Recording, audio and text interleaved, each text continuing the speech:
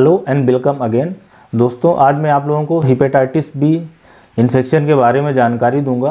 कि hepatitis B क्या है, ये कैसे फैलता है, कौन से लोग हाई रिस्क पे हैं, इसके क्या शुरुआती लक्षण आते हैं, और कितने परसेंट लोगों को लीवर कैंसर या लीवर की सिरोसिस या लीवर की हिपेटाइटिस होने के चांसेस रहते हैं। इन सब विषयों पर जानकारी आज के वीडियो के माध्यम से मैं दूँगा। तो हिपेटाइटिस बी एक बहुत ही कॉमन इन्फेक्शन है, जो डीएनए वायरस है जो आपके लीवर के अंदर जाके वहाँ पे बैठ जाता है, मल्टीप्लाई करता है। और लंबे समय में 15, 20, 25 सालों में लीवर को थोड़ा थोड़ा नुकसान करते करते लीवर के अंदर सिरोसिस करा देना मतलब पूरी फाइब्रोसिस हो जाए और कुछ परसेंट केसेस में लीवर के अंदर कैंसर करवा देता है। पूरे वर्ल्ड में 200 करोड़ लोग इससे ग्रसित हैं। इंडिया में भी अलग अलग रीजन में दो से लेकर सात परसेंट तक इसका प्रिविलेंस है। मतलब इतने परसेंट लोगों को इन्फेक्शन है।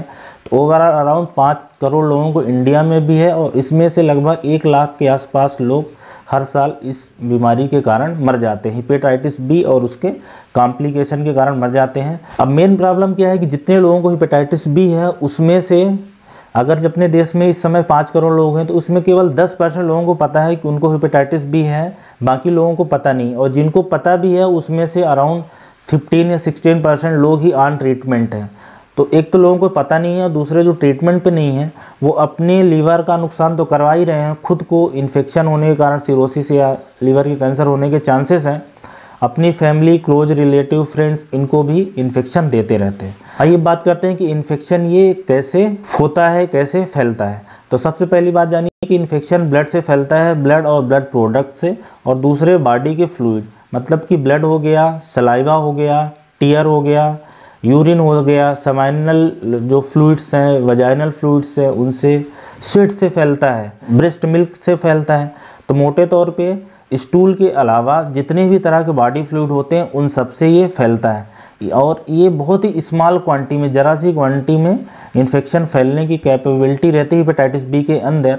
मतलब कि एचआईवी से 50 से 100 गुना ज़्यादा इसमें इन्फेक्टिविटी रेट होता है। इस कारण से ये इन्फेक्शन लोगों में बहुत जल्दी फैल जाता है। और दूसरी बात, ये इन्फेक्शन बाहर शरीर दिनों तक ज़िंदा रहता है।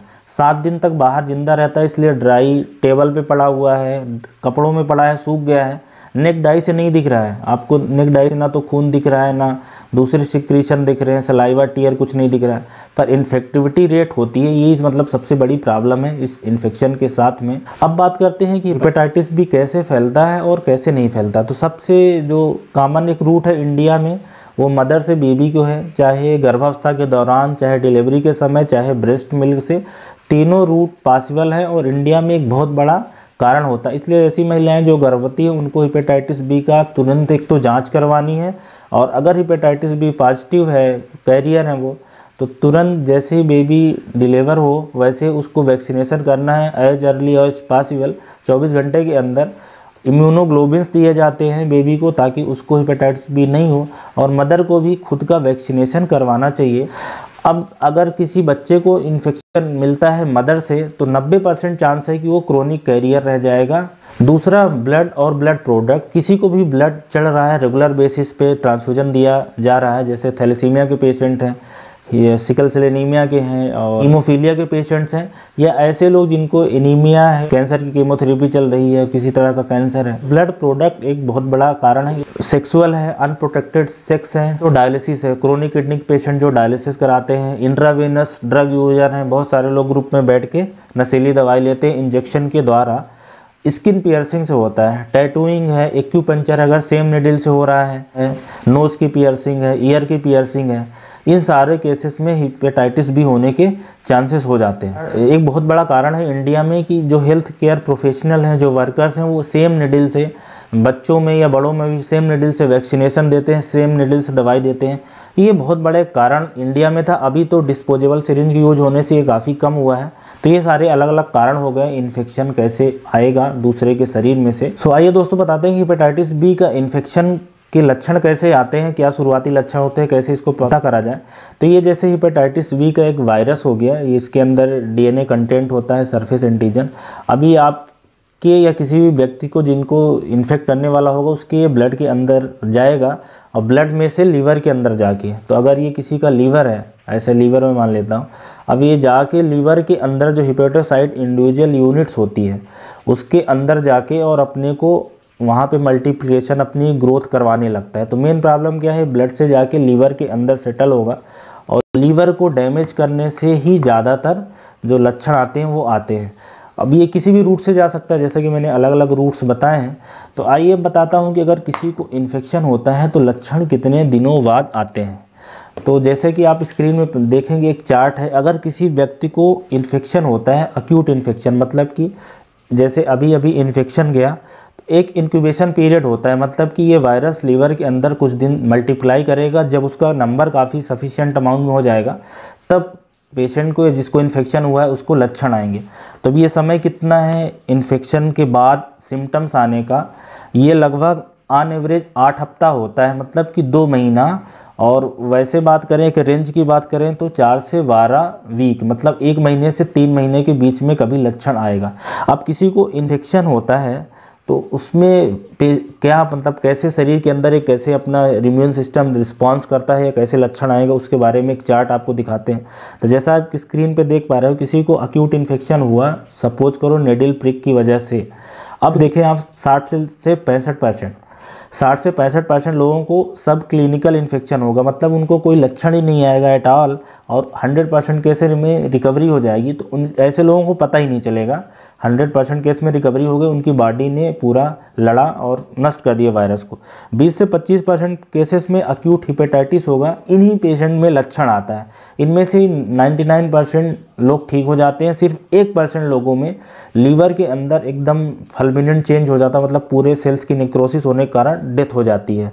और पाँच से दस परसेंट लोग हेल्दी कैरियर बन जाते हैं लाइफ लॉन्ग इन्फेक्शन को देते रहते हैं अपने क्लोज रिलेटिव्स को कांटेक्ट वालों को और दूसरे लोगों को। उनको भी कुछ सेम, लक्षण नहीं आते बस हेल्दी कैरियर बन जाते हैं। चार परसेंट लोगों में ये इन्फेक्शन लंबा चलता है क्रोनिक हो जाता है। क्रोनिक इन्फेक्शन का मतलब कि छः महीने से ज़्यादा का इन्फेक्शन है।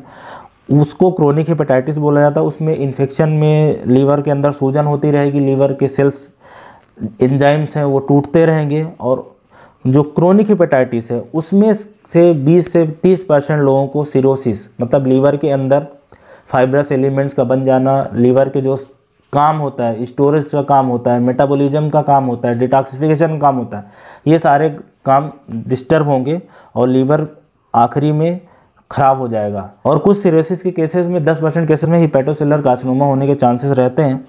और सिरोसिस और हिपेटोसेलर कार्सिनोमा ही मरने का डेथ होने का कारण होता है। तो ये इस तरह से किसी को इन्फेक्शन होता है तो इस, इस तरह से पूरी एक हिपेटाइटिस बी का लाइफ चलती है।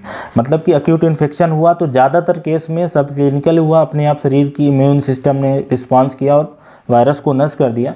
कुछ परसेंट केसेस में क्रोनिक हिपेटाइटिस होगी और कुछ परसेंट केसेस में अक्यूट हिपेटाइटिस होगी।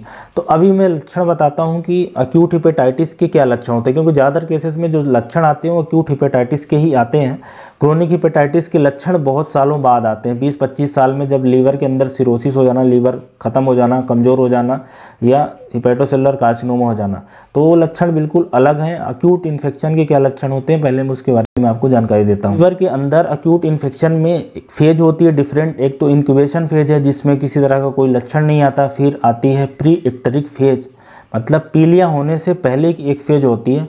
इसमें जो मेन लक्षण आता है वो जी मचलाना, उल्टी लगना एक्सट्रीम वीकनेस सा फील होना, थकान बहुत तेज़ लगना वोमिटिंग सेंसेशन आना वोमिटिंग होना लो ग्रेड का फीवर बना रहना और दस्त रहना। इस तरह के लक्षण आते हैं और इसके साथ में कुछ परसेंट केसेस में टेन परसेंट केसेस में सीरम सिकनेस सिंड्रोम बोला जाता है, जिसमें बुखार के साथ में स्किन में चकत्ते पड़ना रेसेस आना और अर्थरालजिया और अर्थराइटिस मतलब मांसपेशियों में दर्द रहना जॉइंट्स में दर्द रहना और कुछ परसेंट केसेस में लीवर को अगर पालपेट करेंगे तो दर्द सा महसूस करना लीवर टेंडरनेस पेट दर्द हो सकता है और कुछ परसेंट केसेस में बुखार काफ़ी तेज भी हो सकता है। हाई ग्रेड का फीवर हो चिल्स राइगर के साथ मतलब कभी कभी भी लगे, ठंड भी लगे तो ऐसे लगे कि यार ये मलेरिया के लक्षण हो सकते हैं। तो ज़्यादातर केसेस में लो ग्रेड फीवर आता है शुरुआत में और कुछ परसेंट केसेस में हाई ग्रेड फीवर भी हो सकता है। तो ये तो शुरुआत की फ़ेज़ हुई, फिर आता है एक्ट्रिक फ़ेज़ पीलिया वाली फ़ेज़ तो पीलिया का मतलब क्या है कि हाथ हाथ पैर में पीला पड़ जाना और जो आँखें हैं वो पीली पड़ जाने। तो पीलिया हो गया। दूसरा कंजुगेट बिलुरुबिन बढ़ने के कारण यूरिन में यूरिन डार्क कलर की हो जाती है और स्टूल का कलर हल्का हो जाता है, हल्का कलर का हो जाता है। इसके साथ में कॉन्जुकेटेड बिलीरुबिन जब बढ़ेगा तो खुजली होना सही। इसके लीवर इलाज हो सकता है। लीवर के कुछ एंजाइम्स हैं, वो बड़े मिल सकते हैं। जैसे कि प्रोथामिन टाइम है एएसटी है ए है। तो ये जो लक्षण है, वो ज़्यादातर इस बेसिस पे आते हैं कि लीवर कितना डैमेज हो रहा है। उसके एंजाइम कितना बाहर निकल रहे हैं लीवर मेन बात क्या है, जो एक्ट्रिक फ़ेज़ है, पीलिया वाली फ़ेज़ है, इसमें क्या है, जो बाकी के सिम्टम्स होते हैं, बुखार आना, जी मचलाना, उल्टी लगना, ये सारे लक्षण धीरे धीरे सबसाइड हो जाते हैं। जब पीलिया होती है तो बाकी के लक्षण सबसाइड हो जाते हैं। उसके बाद जो आखिरी की स्टेज होती है कन्वल्सेंट फ़ेज़ जिसमें आपकी इम्यून सिस्टम टी सेल्स ने वायरस को मार दिया है और ये सारे के सारे सिम्टम्स अपने आप फिर सबसाइड हो जाएँगे इम्यून रिस्पांस होने के बाद। तो ये पूरी जो साइकिल होती है लक्षणों का ये दो से तीन महीने तक चल सकता है। तो ये हो गए अक्यूट हिपेटाइटिस के क्या लक्षण आते हैं, इसको अब अगर बात करें कि क्रोनिक हिपेटाइटिस के क्या लक्षण हैं, जैसे किसी को धीरे धीरे लीवर खराब होता गया अक्यूट हिपेटाइटिस का लक्षण ही नहीं है तो क्रोनिक हिपेटाइटिस में लक्षण फिर तब आएँगे जब सिरोसिस हो जाए मतलब लीवर का जो पूरा सेल्स है वो रिप्लेस हो जाए फाइब्रस टिश्यू से सेल्स अपने काम करने बंद कर दें तो 20 से 25 30 साल लग सकता है अलग अलग आदमी में कित क्या इम्यून रिस्पॉन्स है, उसके बेसिस पे तो वहाँ पे जो लक्षण आएँगे वो लीवर के जो काम होते हैं, वो अफेक्टेड होंगे, तब आएँगे। जो मेन लक्षण की बात करें तो एक तो पीलिया होता है, पेट के अंदर पानी भर जाता है, लीवर का साइज़ सिकुड़ जाता है। मेटाबॉलिज्म कमज़ोर होने से हड्डियाँ कमज़ोर पड़ जाती हैं कोएगुलेशन ब्लड क्लाट करने की जो क्षमता होती है, वो लीवर की ख़त्म हो जाती है। वेन्स का प्रोमिनेंट हो जाना पोर्टल हाइपरटेंशन तो पेट के ऊपर वेन प्रोमिनेंट हो जाती हैं ऐसे ही अंदर वेराइसिस खुल जाते हैं तो उल्टी हो सकती है, खून की उल्टी हो जा सकती है स्प्लीन तिल्ली है, उसका साइज़ बड़ा हो सकता है। इन्फेक्शन के चांसेस बढ़ जाते हैं क्योंकि बॉडी का इम्यून सिस्टम कमज़ोर हो जाता है तो शरीर बार बार दूसरे इन्फेक्शन से ग्रसित हो जाता है। वज़न का कम हो जाना तो ये सारे सिरोसिस के लक्षण हैं मतलब कि बॉडी लंबे समय में जब हिपेटाइटिस बी का इन्फेक्शन पूरे लीवर को ख़त्म कर देता है, ख़राब कर देता है तब कि ये सिरोसिस के लक्षण हैं। तो दोस्तों, अगर इस तरह के लक्षण किसी को आते हैं हिपेटाइटिस बी के तो तुरंत जाके अपना डॉक्टर से मिले, जाँचें करवाएँ। अगर हो तो ट्रीटमेंट उपलब्ध है वैक्सीनेशन उपलब्ध है, जिससे कि इन्फेक्शन को कंट्रोल किया जा सकता है। क्योर तो अभी पॉसिबल नहीं है। कुछ परसेंट आप केसेस में क्योर भी हो जाता है। बस इतना ज़रूर हो पाएगा कि आपके फैमिली मेंबर को इन्फेक्शन आपसे नहीं फैलेगा और आपका लीवर डैमेज नहीं होगा। मतलब सिरोसिस के स्टेज में कैंसर की स्टेज में नहीं पहुंचेगा। अगले वीडियो में मैं इसके लिए क्या वैक्सीनेशन है, क्या प्रिवेंशन है, क्या जांचें हैं और क्या इलाज उपलब्ध है, उन सारे विषयों पर जान दोस्तों, मिलते हैं अगले वीडियो में। Have a nice day bye bye